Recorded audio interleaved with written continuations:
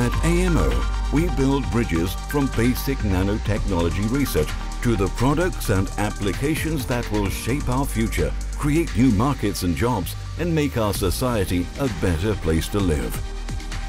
We work as experienced sparring partners with our international collaborators from industry and universities and with deep tech startups from around the globe.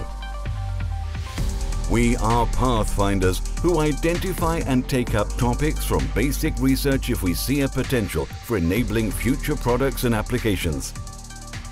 We then demonstrate this potential to industry by conducting experiments that show new functionalities, higher performance or new use cases. At AMO, about 70 researchers work to advance nanotechnology in Europe in an ethically responsible manner, together with PhD students from RWTH Aachen University, international guests, startup companies, small and medium enterprises and global industry. Our mission is to enable technology transfer.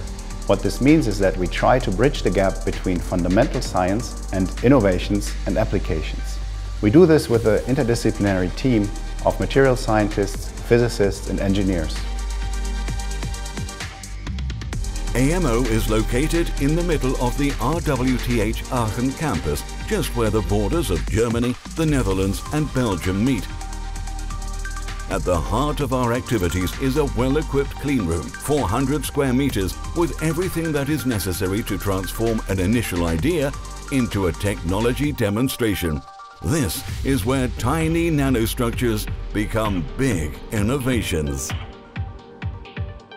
We also have a lot of plans for the future. We're always open for collaborations with universities, research institutes, companies and startups. We like to engage in either bilateral research projects or funded research on the national or European level. Finally, we are also looking for excellent people to join our team. If you're a master student or a PhD student, come join us and do research with us. Thank you.